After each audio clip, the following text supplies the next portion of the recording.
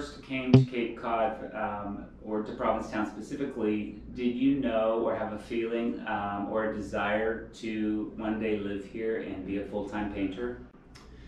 Um, when I first came to Provincetown, um, I was drawn to the art, um, and early in my life I had played a little bit with some watercolors and things like that. But at first, it, the idea of being an artist hadn't uh, kind of uh, crossed my mind. And um, in the just after 2000 or whatever, um, I've been traveling to Europe some uh, with my travel work and had seen you know some of these monuments in Rome and whatever, and I kind of got inspired to try to create you know to paint them you know.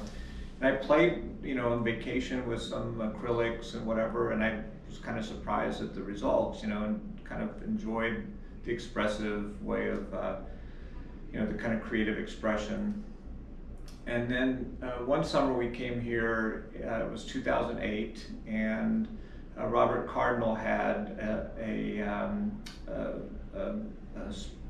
a gallery over by where, where say is uh, Joe's Coffee Shop and there was a little sign in the window that said, you know, painting workshop, and it was the week that we were on vacation, and I was just like, oh my God, this is like incredible, you know, because we'd always loved Robert Cardinal's uh, paintings. And so uh, Monday morning, I, you know, packed a little little uh, sandwich, and Steve put me out on the front steps, sent me off to camp, and uh, it was just so eye opening, like his his teaching, his technique, you know, whatever, and it just brought my work that had been developing nicely to a whole new kind of maturity. Certainly, I mean, the blue skies in your work are um, very recognizable to you specifically, but um, knowing that you've had the training from, from Robert Cardinal, it's certainly easy to see where your influence comes from mm-hmm. as far as paint, painters and teachers are concerned. Mm-hmm you're, um, I think I'm right about this, that you've had various studies in and also have taught in different uh, various religious studies. Mm-hmm. Uh, I wonder over time, those combined with your travels, did that or does it today inspire you as a painter? Yeah. Uh, so, so yes, I was trained as a uh, religion uh, professor, philosopher of ethics and religion and have been teaching that since um, the mid 80s. Um, and um, you know, had spent time in Europe studying and obviously very inspired by kind of the great masters, you know, Michelangelo, Raphael, people like that. Um, and a lot of people say that, you know, my work has this kind of light to it. There's some um, a, a, good friend of mine from college actually the other day had bought a piece and she said, you know, it feels like it's lit from within. Mm. Uh, and, and, I, and, I, keep hearing that from people, you know, and uh, I, I love the play of dark and light. You know, Caravaggio uh, is one of my favorite uh, painters, and you know, like his uh, St. Matthew cycle and San Luigi de Francesi in, in Rome. It's just this beautiful, like the light just seems like it comes into the painting, you know. So, so I've been wanting to find ways to capture that here at the Cape, you know. When people are in the gallery and we're speaking about your work to them, um, the words play of light and how Michael Hartwig is a painter really captures the space and the air and the light around a structure or around the dunes. Uh, this is a frequent conversation that we have with people. And I've heard people say that when they look into your paintings, they can feel that, that there's a certain spiritualism um, and calmness and peace that uh, they see in your work. And I wonder if you feel that in your work as well. Uh, yes, um, and and what what's kind of interesting, I, I, assume all painters have a little different process or whatever, but I love the initial um, kind of experience of putting something, you know, kind of sketching something out on canvas and starting to get what they call the values, you know, the, the, the how bright certain things are, dark certain things are.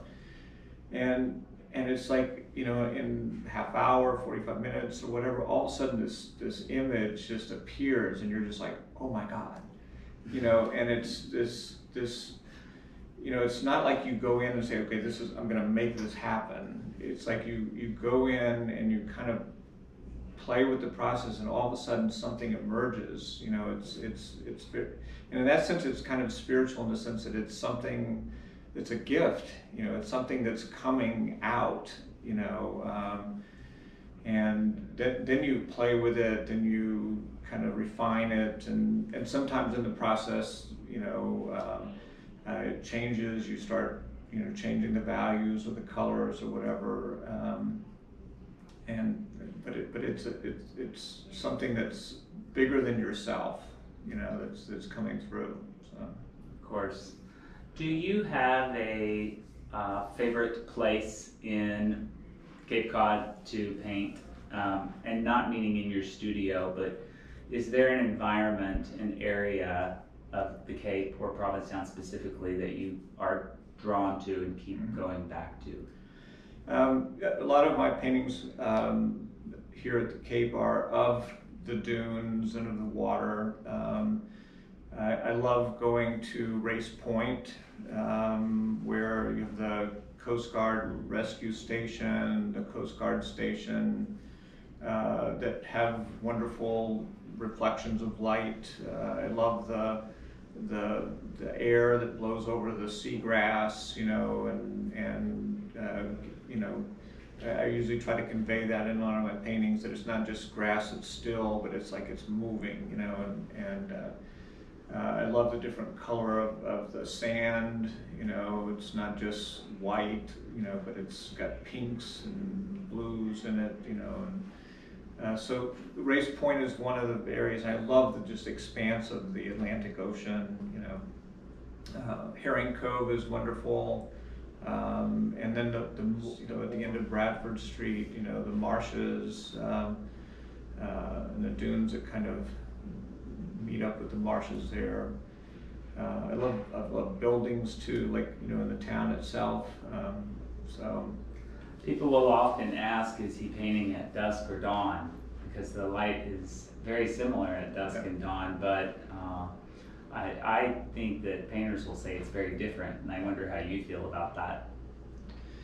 Uh, yes, uh, and, and you know, usually from the pictures you can tell which direction the light's coming from. Just if you know where the setting is and is it morning light. Um, the evening light seems to be more uh, uh, red, vermilion, kind of a little bit more orangey. Uh, the morning light's a little lighter, um, but that can change too. I mean, it just depends on kind of what I love about the Cape is the way the light bounces off of, of uh, the clouds and changes the hues, and you know, it's just it's, it's magnificent, you know.